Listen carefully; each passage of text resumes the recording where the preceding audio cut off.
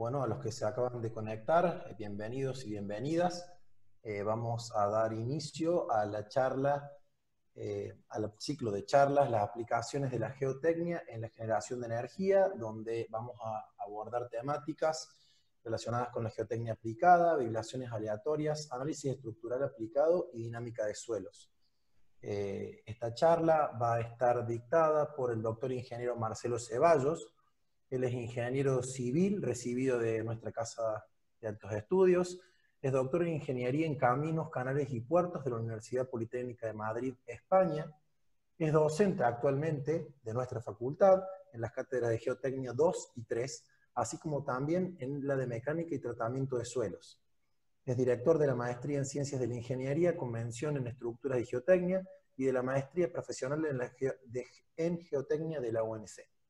Tiene más de 100 publicaciones en congresos nacionales e internacionales, es consultor nacional e internacional con participación reciente en los siguientes proyectos. La Avenida Circunvalación de Córdoba, el Camino de las Altas Cumbres, el sostenimiento de la presa de Angostura en Chile, la extensión del puerto Capurro en Montevideo, Uruguay, para ser sintéticos dentro de su amplio currículum. Así que bueno, sin más, para no, no quitarles más tiempo, Marcelo, eh, te cedo la palabra. Muchas gracias. Eh, un segundito, vamos a ver si comparto la pantalla. Eh, aquí, compartir. ¿Se ve la presentación? Perfectamente. Ok, muchas gracias. Bueno, les agradezco la oportunidad de presentar eh, dos componentes de difusión y de educación que nos parecen dentro del área en el cual estoy involucrado, nos parecen bastante interesantes o que pueden ser de interés para aspectos relacionados fundamentalmente con la ingeniería, con la infraestructura y en particular con el desarrollo de procesos energéticos.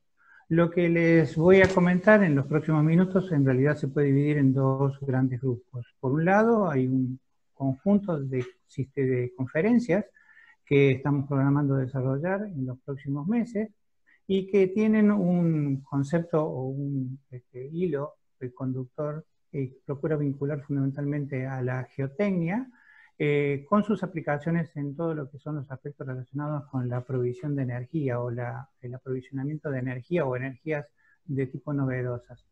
Eso es por un lado, ya se los eh, paso a comentar. Por otro lado, lo que tenemos este, para comentarles son los cursos que en este momento estamos desarrollando a nivel de eh, cursos de perfeccionamiento respecto de la formación de grado, especialmente en el caso de las carreras de ingeniería, construcción o arquitectura, eh, y que los empleamos como parte de los cursos de desarrollo de formaciones de este, maestrías pero que inclusive pueden ser este, tomados por parte de este, interesados eh, cumpliendo algunas condiciones mínimas de algún conocimiento básico como para que realmente los puedan aprovechar. En este sentido, en el primero de los grupos de información que les presentaba o que les comentaba, tenemos el ciclo de conferencias que se denomina aplicaciones de la geotecnia en la generación de energía. Estamos este, programando este ciclo sobre la base de una acción eh, sinérgica entre tres organizaciones. Por una parte, este, nosotros, desde el punto de vista de la Universidad Nacional de Córdoba, a través de la Facultad de Ciencias Físicas y Naturales, y en particular en cuanto a las maestrías eh, de Ciencias de la Ingeniería, Mención Estructuras y Geotecnia, y la Maestría Profesional de Geotecnia, eh, como actividad eh, que forma parte de las actividades de nuestra casa. Pero al mismo tiempo, eh, en colaboración o en conjunto con la Sociedad Argentina de Ingeniería Geotécnica, la SAIG, este, y por otro lado también con el doctorado eh, de la Universidad de San Juan Bosco, con lo cual entonces hemos este, llegado a este, una confluencia en cuanto a la temática que nos interesaba tratar y por eso entonces es que lo estamos desarrollando en conjunto. Eh, en relación a los lineamientos generales, este, nos interesa tener en cuenta que los procesos de generación energética producen elementos que son de importancia para la calidad de vida y para el progreso dentro de las distintas sociedades. Los mismos a su vez condicionan la posibilidad del desarrollo de actividades humanas, producción e inclusive el crecimiento del conocimiento mismo. Actualmente, entonces, algunas de estas búsquedas eh, se encuentran con condiciones ambientales que este, son de gran influencia en cuanto a los procesos de generación que se están desarrollando a nivel de la producción de energía.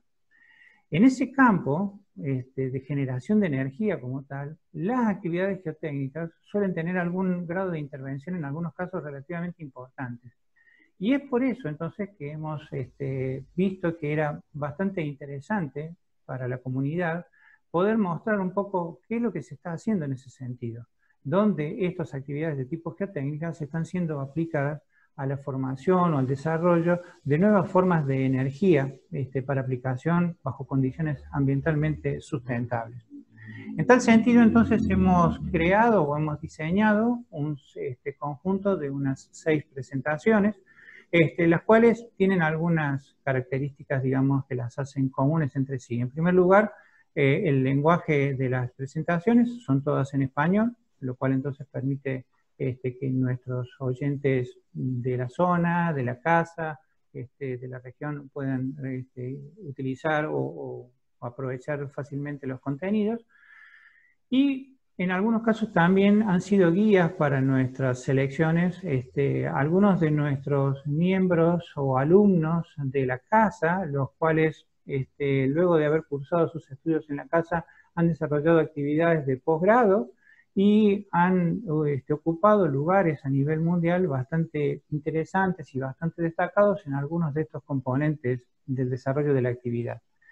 Les comento algunas de las presentaciones. La primera que tenemos prevista para el día 30 de septiembre es de Geoenergía, Desafíos y Oportunidades, a cargo del doctor Marcelo Sánchez. Marcelo es este, un ingeniero civil, eh, en este caso es un ingeniero civil por parte de la Universidad de San Juan, en Argentina, este, luego doctorado y actualmente trabajando en este, las universidades en Texas, en Estados Unidos, eh, muy vinculado a las actividades fundamentalmente de generación de energía a través de la extracción de petróleo. Por otro lado, tenemos el 8 de octubre, el rol de la ingeniería en la transición hacia un mundo más sustentable, con una visión en este sentido mucho más amplia en el planteo y con el análisis de las alternativas que se están presentando este, más recientemente en cuanto al desarrollo de la actividad.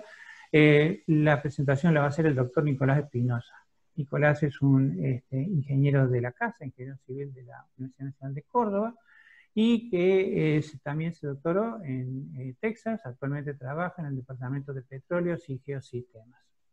El 14 de octubre eh, la presentación se denominará Energía Geotérmica y el uso de las geoestructuras en sistemas de centrales de frío y calor. Eh, una de las temáticas en términos generales que mayor desarrollo innovativo está teniendo en los últimos tiempos, cómo utilizar este, el propio terreno como un ambiente de conservación del calor o de conservación del frío, como lo queramos este, ver o analizar, está a cargo del doctor Guillermo Narcillo. Guillermo también es egresado de la casa, este, con sus doctorados en Estados Unidos y actualmente es el vicejefe del Departamento de Ingeniería de Infraestructuras de la Facultad de Ingeniería Informática en la Universidad de Melbourne, Australia. Este, también un referente dentro de ese tipo de temáticas. 21 de octubre, eh, el doctor Marcos Tesariol, hablando de los sedimentos con hidratos de metano y un enfoque geotécnico este, en cuanto a sus aplicaciones. Eh, también una temática de carácter ambiental, en términos finales, bastante este, tocada y bastante preferida en los tiempos recientes. En este caso, eh, Marcos también es este, recibido dentro de nuestra casa, se doctoró en Estados Unidos, Trabajó durante un tiempo este, en la Universidad de Kauts, en Arabia. Actualmente se encuentra en el Laboratorio de Investigaciones Geológicas y Dinámica de Sedimentos en Francia, uno de los centros más importantes en este tipo de temáticas. Entonces también este, nos enorgullece que esté dentro de un este, lugar destacado dentro de las actividades en, en el mundo. El día 5 de noviembre tendremos la temática de la geotecnia aplicada a la cimentación de los aerogeneradores, solicitaciones estáticas y dinámicas en la cimentación de las obras offshore. eh, lo cual también se constituye como una de las temáticas, digamos, bastante desarrolladas en los últimos tiempos como eh, procesos de generación de energía alternativa. En ese sentido, la presentación estará a cargo de la magistra ingeniero eh, Marí Martínez, es una profesional de, de, Puerto Rico con sus estudios de posgrado en Estados Unidos y que actualmente se desempeña dentro de una de las oficinas, digamos, de la actividad más importantes que tenemos como referente mundial. El día 2 de diciembre, eh, para cerrar este ciclo, eh, tenemos la conferencia relacionada con el estado del arte y las perspectivas de desarrollo de las cimentaciones profundas para los aerogeneradores offshore, continuando con la misma temática que se planteaba dentro de la conferencia anterior, este, lo cual entonces también marca un poco la trascendencia que tiene este tipo de temas o el planteo de este tipo de temas. Su presentación estará a cargo del doctor ingeniero Pablo Cuellar, que es investigador del Departamento de Estructuras y Cimentaciones en eh, Alemania. Eh, Pablo es ingeniero eh, de Camino, Canales y Puertos y doctorado también en la Universidad Politécnica de Madrid. Este, y también se está desempeñando, como está indicado allí, en uno de los este, centros digamos, de excelencia en este tipo de temática a nivel mundial. Es decir, entonces que eh, pensamos que puede ser de interés este, la presentación o, eh, la, temática que se tratan en estas seis conferencias, con lo cual entonces los invitamos a, en todo caso, que eh, vía este, la comunicación con la Secretaría de Extensión de la Facultad, puedan encontrar el link para poder entonces este, registrarse dentro de estas conferencias, las cuales son, por otro lado, de tipo no aranceladas, o sea que son de acceso libre en ese sentido. Este es entonces el primer componente que les quería eh, comentar. El segundo de los, de los componentes que le iba a presentar o que les estoy presentando es eh, los cursos de posgrado que se encuentran en desarrollo actualmente este, y que si bien los mismos algunos de ellos ya han empezado, eh, todavía es, posible que eh, si están interesados puedan vincularse respecto de estos cursos, eh, salvando las clases o los, o los temas que ya han sido tratados en las primeras clases. Los cursos en términos generales son cuatro, el curso de geotecnia aplicada, el curso de vibraciones aleatorias, el curso de hormigón armado avanzado y el curso de dinámica de suelo. Respecto de los docentes que se encuentran a cargo de cada uno de ellos, eh, bueno, eh, yo soy uno de los titulares en el de Geotecnia Aplicada, junto con el ingeniero Pedro Cobas y el ingeniero Roberto Tesariol. En el caso de los cursos de vibraciones y el curso de hormigón armado, el, profesor titular es este, el ingeniero José Inaudi, junto con el ingeniero Leonardo Coco. Y en el de dinámica de suelos este, están a cargo del este, ingeniero Víctor Rinaldi, junto con el ingeniero Ricardo Molina.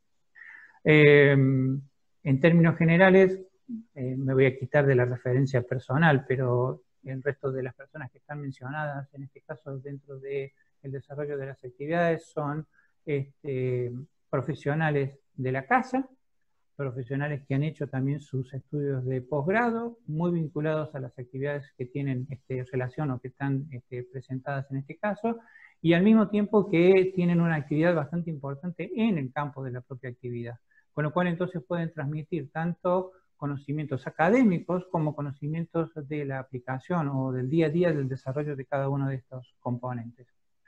¿Cuáles son entonces un poco las características? Estos cursos, como les mencionaba hace un momento, forman parte del sistema de cursos de posgrado compatibles con las maestrías en ciencias de la ingeniería, estructura y geotecnia, y con la maestría profesional en geotecnia los cuales tienen, este, si bien componentes educativos similares, una tiene, digamos, una visión un poquito más académica, la primera, la segunda tiene una visión de carácter netamente profesional o de aplicación en el campo profesional. En términos generales, para los cuatro cursos, las características son las mismas en cuanto a duración, 60 horas, las cuales generalmente están repartidas aproximadamente en mitad de contenidos teóricos y mitad de contenidos prácticos, y se encuentra este, direccionados normalmente para el caso de ingenieros civiles, arquitectos, técnicos constructores y profesionales en el campo de la construcción en general. Cabe destacar que según algunas de las variantes, este, en algunos de estos cursos también este, nos encontramos con, eh, por ejemplo, geólogos, los cuales pueden tomarlos con total facilidad, eh, o si no también podemos encontrar este, ingenieros en eh, minería, ingenieros en petróleo, los cuales también podrían en algunos de estos tipos de cursos este, tomarlos y, serles de ayuda este, totalmente. Les comento entonces algunas de las características de algunos de estos cursos. Bueno, en el caso del curso de geotecnia aplicada, sus objetivos fundamentales son mejorar un poco los conocimientos y profundizarlos respecto de la información que se obtiene normalmente dentro de los cursos de grado de la carrera, en aspectos relacionados con las fundaciones de estructuras este, y las estructuras de contención o estructuras enterradas, y se presta fundamentalmente énfasis a todos los aspectos que están relacionados con el diseño, la construcción, los controles postconstructivos y los aspectos de control de calidad. Lo cual entonces es una abarcación, digamos, bastante integral de todo el tema relacionado con sistemas de interacción suelo-estructura. En este sentido, en cuanto a su composición temática, bueno, tenemos una primera parte del curso que se encuentra vinculado con el diseño de fundaciones superficiales, profundas, destinadas a puentes, a obras de estructuras esbeltas. Aquí tenemos algunas imágenes ilustrativas del tipo de obras que normalmente tratamos en el desarrollo del curso, sobre los cuales hablamos, planteamos el caso, comentamos las experiencias, este, interactuamos con los alumnos respecto de la formulación de distintos tipos de problemas y obtenemos entonces o ejecutamos las prácticas correspondientes. También hablamos acerca de algunas estructuras de tipo particulares, como por ejemplo son las excavaciones urbanas y los sistemas de sostenimiento, la aplicación de los cálculos para, o el diseño de los muros de sostenimiento, sistemas de tunelería, cañería, este, fenómenos o aplicaciones de metodologías para las mitigaciones de la inestabilidad de taludes, o todo lo que está relacionado con las cimentaciones para el caso de presas eh, de distintos tipos de características. Eh, y finalmente, la, la, última parte del curso se encuentra destinada a todo lo que se refiere a aspectos de control de la construcción, control de calidad y ocultación de sistemas de fundaciones.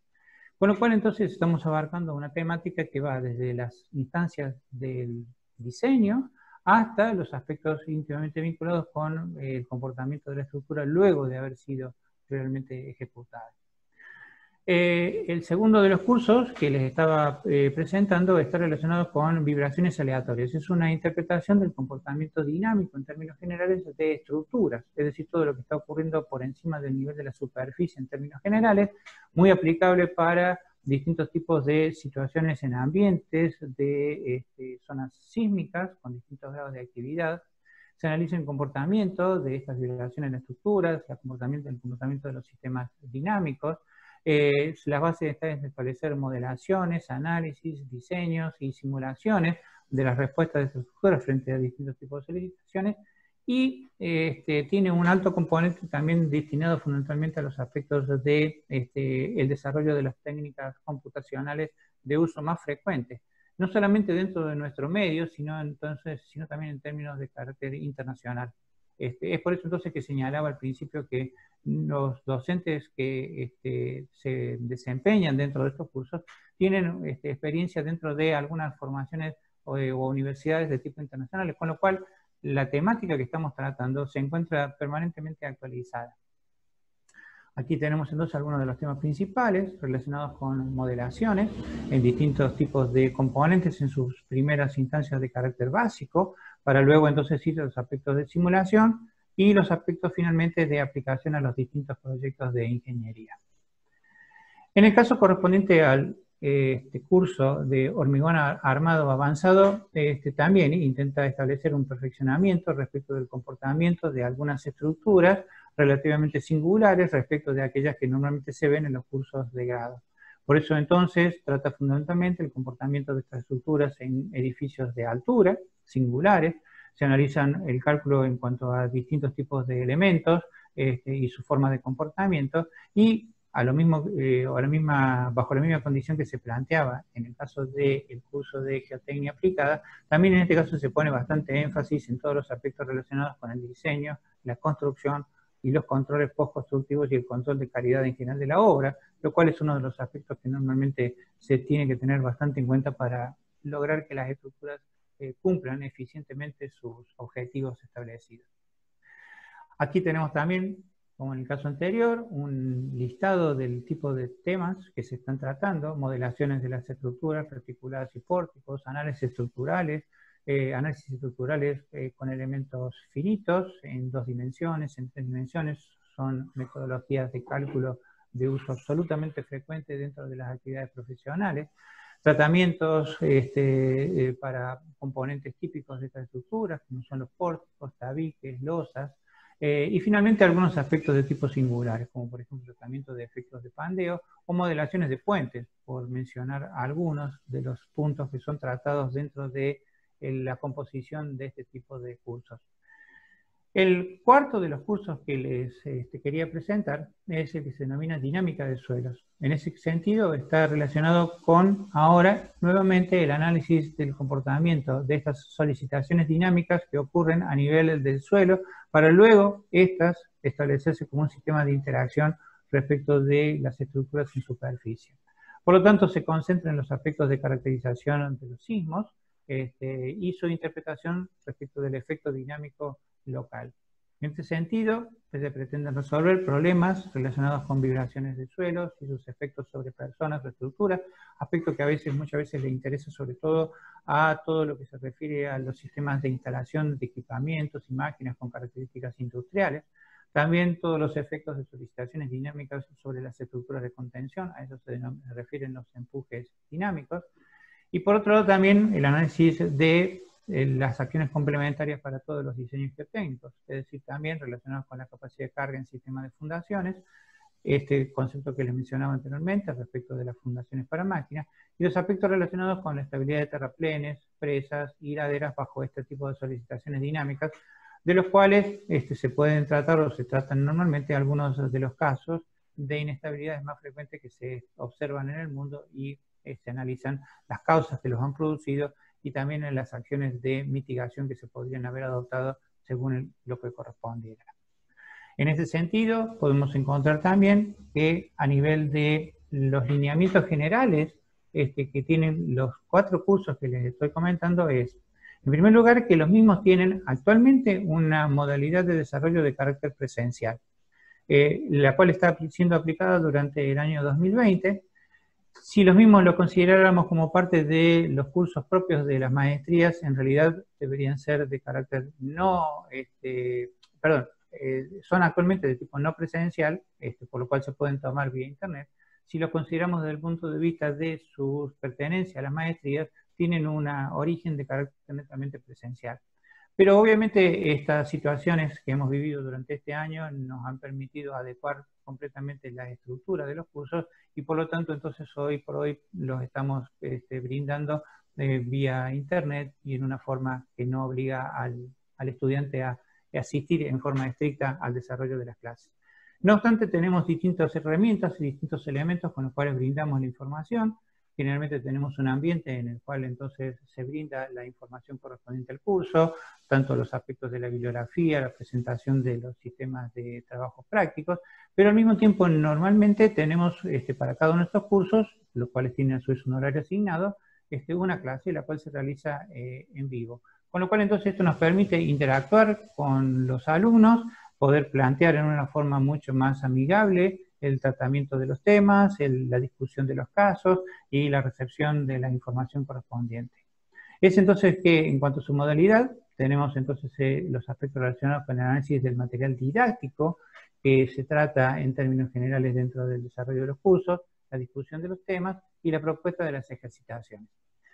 Eh, respecto de la consideración del el curso este, en condiciones de aprobado, generalmente en este caso entonces el mismo se somete a un sistema de evaluación, el cual varía ligeramente de uno a otro, pero más o menos tiene estos lineamientos en general. En primer lugar, que el proceso es de formación eh, y evaluación continua, en términos generales, en función de las temáticas que tratamos y los componentes con los cuales nos manejamos, vamos este, realizando una evaluación permanente del conjunto de los este, integrantes de los cursos, eh, también a través de la resolución de los trabajos prácticos y en algunos casos también, este, según la forma y la constitución de los temas, se plantean algunas evaluaciones de carácter teórico prácticas como componentes complementarios de este ciclo de evaluación.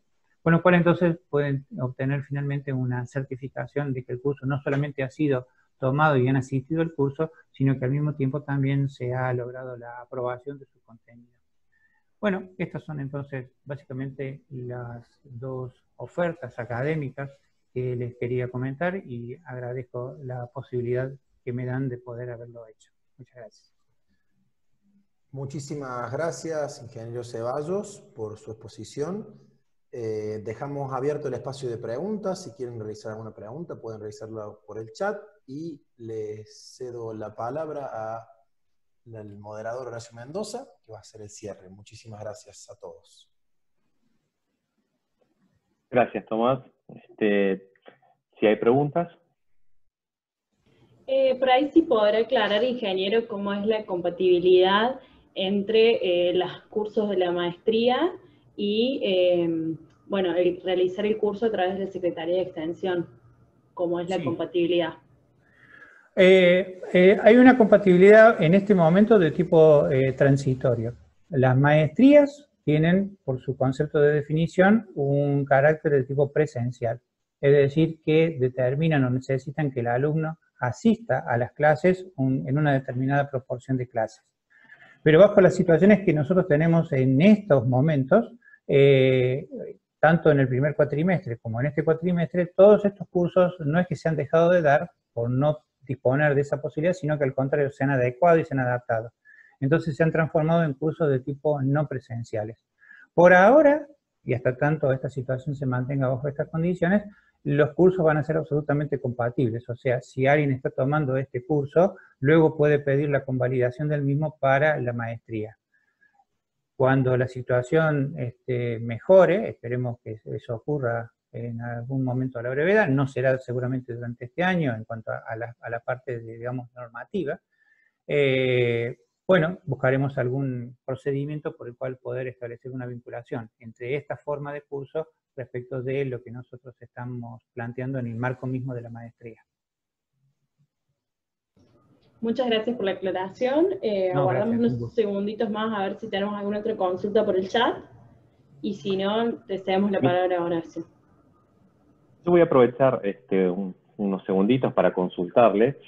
Este, en resumen, ¿qué requisitos o qué conocimientos tendría una persona que va a tomar, porque estos cursos van a estar abiertos a la comunidad? ¿Qué, digamos, ¿qué conocimientos serían deseables para poder aprovechar al máximo los cursos? Eh, tenemos eh, distintos niveles de requerimientos que ninguno de ellos son, este, digamos, de un alto nivel de perfeccionamiento, sino por el contrario, normalmente están dirigidos a gente que tiene alguna formación eh, técnica mínima.